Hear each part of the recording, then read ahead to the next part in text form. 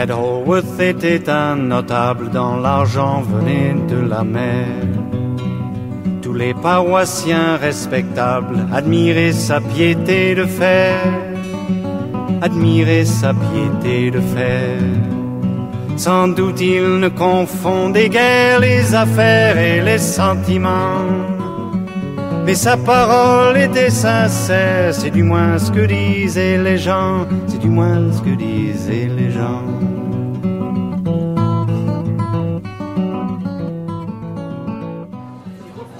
Ça va être du slam avec Sylvain Roy. Sylvain Roy, autodidacte, passionné d'écriture et de mots, orienté vers la poésie en passant par les textes à chansons ainsi que de courtes histoires métaphoriques. Sylvain nous rend visite pour la troisième fois, vivement poésie. Où est-ce qu'il est? Mesdames et messieurs, je vous demande d'accueillir chaleureusement Sylvain Roy.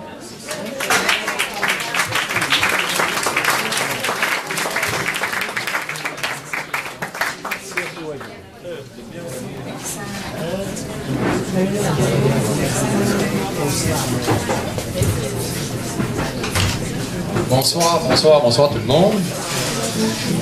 On vient de briser le rythme. Bonsoir, Monsieur Klein. On a brisé le rythme avec une, euh, une pause. Et là, on brise le rythme avec un slammer. On fait ça différent.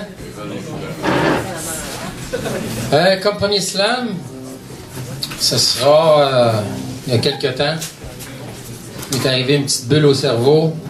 Je me demandais si j'étais capable d'écrire un texte avec toute la même rime. Un petit défi d'écriture. J'en ai fait quelques-uns, dont celui-ci. La pauvreté planétaire. Aujourd'hui, je pourrais vous faire une prière, en commençant par Au nom du Père. Mais ce n'est pas ce que je sais faire. Ce que je sais faire, ça ne ressemble pas à du beau de l'air, même si c'est bien beau de l'air. Mais moi, j'ai ma manière d'écrire et rimer comme l'air et partager mes idées sincères. Je veux parler de la pauvreté planétaire, des enfants dans la misère. Mais qu'est-ce que nous pouvons faire? Mais qu'est-ce que je peux faire? Peut-être écrire dans la langue de Molière pour que le message se transfère. Les paroles d'une personne solitaire, ça peut changer bien les affaires. Car si je sors de ma tanière, alors là, je deviens solidaire. C'est moi, toi, lui, les gens ordinaires, la mairesse ou monsieur le maire. Pourquoi pas un, ministère qui peut faire changer des affaires? Et vous me demanderez de quelle manière? Il faut commencer par cesser de sa terre et parler de ces problèmes planétaires qui sont malheureusement moins populaires que la confection d'une bombe nucléaire. Et est-ce que tout cela peut coûter cher? Oui, tout cela peut peut-être coûter cher. Mais quel prix une vie prise en enfer comparativement au prix de toutes ces guerres? Il y en a qui n'entendent guère. Pourquoi imiter Bush fait ses pères? Pourquoi financer à outrance ces maudites guerres? Pourquoi envoyer tous ces militaires prêts à aller vivre l'enfer de la guerre en laissant leur famille derrière, ne sachant même pas si le retour sera au cimetière avec une couronne mortuaire ou s'ils reviendront avec des idées suicidaires? Le retour sera-t-il un calvaire? En tout cas, moi, j'ai choisi de ne pas me taire, même si certains choisissent de le faire, peut-être de façon volontaire, en se mettant des œillères. Mais serait-ce trop de dire que j'espère? J'espère que certaines compagnies milliardaires, ou simplement millionnaires, puissent s'attarder à ces problèmes planétaires. Je m'adresse ici aux institutions bancaires, aux compagnies, aux compagnies pétrolières, aux sociétés immobilières, aux compagnies minières, aux orifères. La pauvreté est prioritaire. Les enfants sont prioritaires. Voulez-vous commencer à voir clair? Voulez-vous cesser de vous taire? Allez-y de façon volontaire pour aider des enfants dans la misère, dont leur santé est aussi précaire qu'une bouteille à la mer. Pourquoi attendre un tremblement de terre pour faire une chaîne humanitaire? Il faut se dire qu'aujourd'hui, on opère au lieu de dire Ah, hier, j'aurais donc dû le faire. On ne parle pas ici de sauver la planète Terre, ni de sauver son atmosphère, ou encore de l'astre solaire qui fait fondre nos glaces polaires. On parle de vrais enfants faits de chair, qui sont sur la planète entière. Et le tiers-monde inclus dans cette sphère, et qui ne savent même pas ce qu'est un dessert. Mais ils connaissent très bien le désert, celui qu'ils ont vu hier à la place de ce dessert lors d'une journée routinière. Et ces enfants, vous savez de quoi ils ont l'air? Avec des os et un peu de chair, sans mère nourricière, sans père à salaire, et parfois tout ce qu'ils digèrent. C'est de l'air et de la poussière. Voilà à quoi ressemble leur univers. Une vie à petits pas suicidaires, une vie aussi fragile qu'une maison de verre. Et très souvent, Maison n'est pas dans leur vocabulaire. Leur vie est au grand air, sans aucune protection solaire. Ils ne savent même pas qu'est scolaire du matériel scolaire, encore moins une banque alimentaire. Pour eux, ce n'est pas élémentaire. Ils ne connaissent pas non plus la colère, car ils n'ont pas la force d'atteindre cette frontière. Mais ils connaissent très bien l'hiver, c'est lui qu'ils vivent jusque dans la chair. Il ne faut pas qu'enfance rime avec enfer, mais bien au contraire. Il faut en faire plus, en faire davantage, en faire beaucoup pour les sortir de cet enfer. Voilà, c'était quelques idées claires et sincères qui sont sans commanditaire. Et je terminerai en disant que j'espère que d'autres sortiront de première.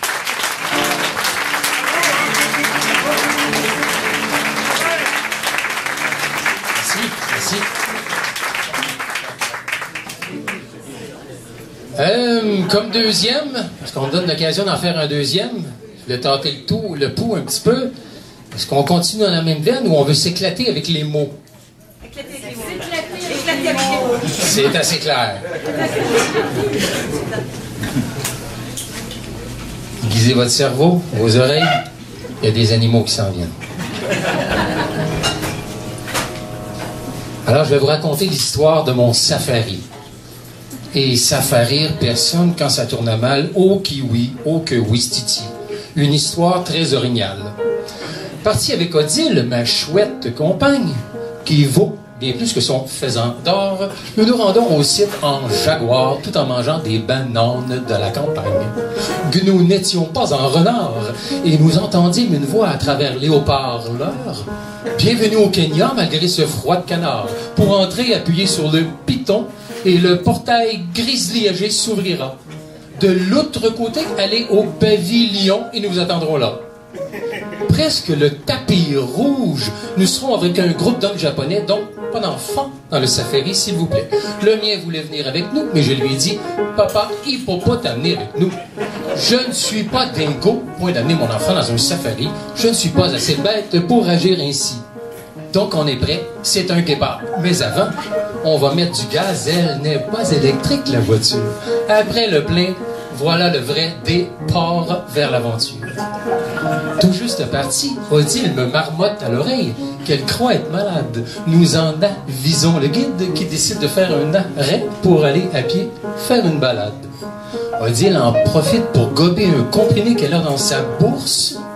Elle a de la difficulté à l'avaler. À l'avaler, j'ai dit. Voyons, crocodile. Et voilà que sans crier gare, un serpent sort de nulle part. Il dit au bras et j'écris c'est quoi là? Elle a maintenant une morsure qui la torture. Fuck, chimpanzé qu'on était en sécurité. Ça sert à quoi d'engager un guide expérimenté? Et les Japonais rient et font des singeries. Vraiment, les gorilles, je leur dis, et les fanfarons, venez ici, faut qu'on agisse vite, elles se tortillent.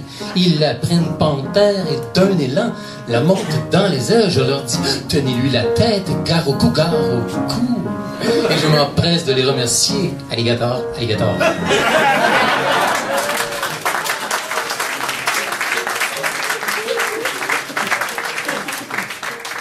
Tout seul, Chameau aurait pris plus de temps. Donc, on déguerpit rapidement en laissant derrière une traînée de bouc-cannes. Arrivé dans les murs de l'hôpital, un docteur crie Morsure de serpent, faut appeler Gourou, parce que quand Gourou vient, ça vaut mieux. Et pendant l'attente, nettoyer l'amas de pu avec coton bleu. Je dis à Odile, tiens, il est rat ton laveur de blé. Mais on est encore loin de la coupe aux lièvres.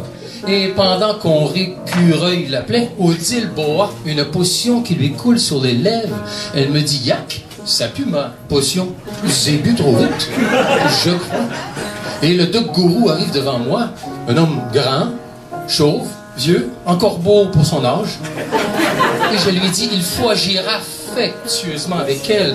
Guérissons-la, monsieur le gourou. Il prend alors la pince et les bistouris, verse un mélange de couleurs mocha, puis il frotte la plaie avec du bambou. Il me dit, je vous garantis l'opération stoppera l'infection tout de suite. Ce sont les règles et les arts de la médecine douce. Elle aurait pu avoir le syndrome d'hermatite. Ah, Doc, tout ça pour moi, c'est comme de l'alzèbre, cette médecine douce. Et Odile, toute heureuse de son sort, crie au rang autant de fois qu'elle le peut. Elle rit canari. Ah, Doc, Est-ce que vous êtes dauphin à nos yeux?